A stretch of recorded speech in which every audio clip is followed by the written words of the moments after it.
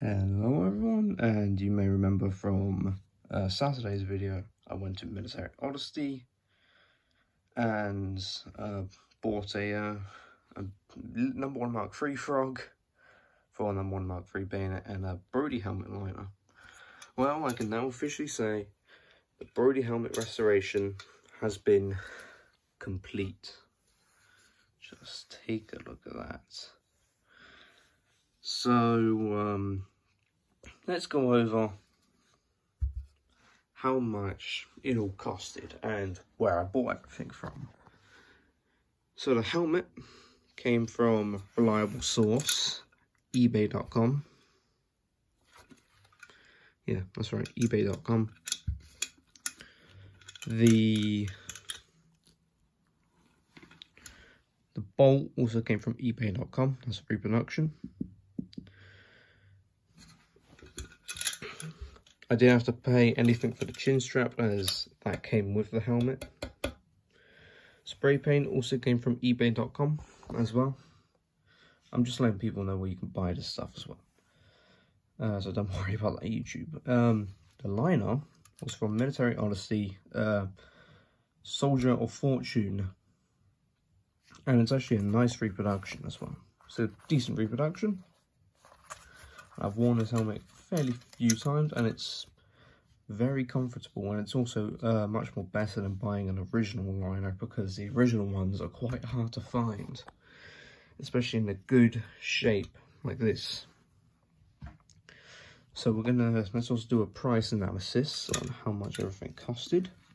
So Brodie helmet that costed about 28 pounds which is a little expensive. Bolt, £7 because if I bought an original bolt and a nut, that would be 15 quid. So, uh, chin strap, didn't have to pay anything for. Spray paint was about £11, 11, 13 quid. Liner was the most expensive bit, besides from the helmet. This was £25.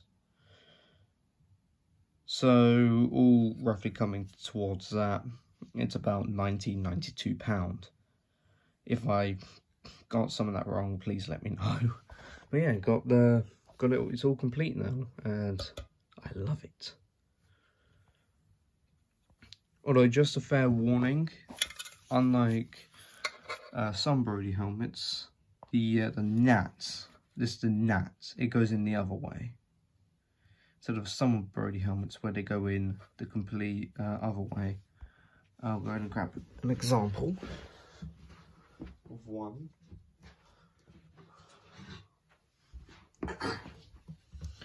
My First World War Brodie. It's got toilet roll in here because whenever I want to wear it, I don't want that. That's digging into my head. So as you can see, there's First World War. Well, that's what uh, that should not look like that's what it should look like. Should not. Should as. And as you saw in the video when I tried to install it the uh, the other way, so it was like this, it wouldn't go in because in this cross piece here, there's a little indentation. Um, there's, yeah, there's a little indentation, and that's where um, that little ridge there on my finger is. That's where that is supposed to go in, that little indentation. But yeah, I now have three Brodie helmets. You might be thinking, but there's two of them. There's a third one. I forgot to talk about.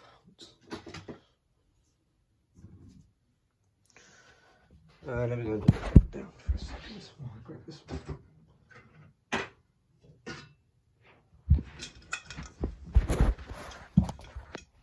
There's the third one. and these are all original shells as well. They're all very nice and original. This one is missing the liner, but has the chin strap in. This one was missing the liner, but had the chin strap in. This one was all complete post-war. uh, but yeah, let's take a look at the markings. So this one is a astounding, uh, where is it? 1943. Spin it the other way. 1943, and then there's a 43, and there's a 1, and a 9's being covered up by that buckle. God's sake. I don't know what it's called. I'm just going to call it a chin strap retainer. But yeah, it's being covered up by the chin strap retainer. Uh, is oh, there is a manufacturer right there. And this Brodie helmet would have been used for the ambulance drivers uh, at home. This one the only, well, I'm technically classifying it as markings as well. We have a big marking up here, KSR slash CP. And yes, some of the mud brown did go on the P, but that's fine. I might go over that in white paint. I don't know. And then we have none, no markings on the chin strap retainer. None at all. But we do have a one marking is right here. You can't see it because the paint, but you can uh, BMB Briggs Motor Bodies 1 over 1939. So this is probably the first one made in that year. And um, no one knows what this helmet was. Uh, if someone can tell me what does KSR CP mean, please, I'd like to know what it means. But I've turned into a uh, army helmet. This one, was at some point a First World War helmet. You can also tell the difference uh, between. So here's the First World War. That's pretty small. And here's the second. That's pretty big. So this is the Second World War, this is the First World War. I've already done a video on that. But yeah, this is the First World War helmet. Still has some of the uh, original First World War paint on the inside. And yes, I, I done that. Uh, but this was post, this is now been converted to post-war by the Belgians. Because Belgium, after World War II, they needed helmets, and there's actually a marking in the liner. ABL 1949, XB 1950, 58 which that's the marking on my uh, liner, 58. Actually, it's a seven and a half liner. So yeah, depending on your head size, the original ones, they'll say something like size 7. My head fits into a size 7 liner. And uh, yeah. Of course, Belgium. So yeah.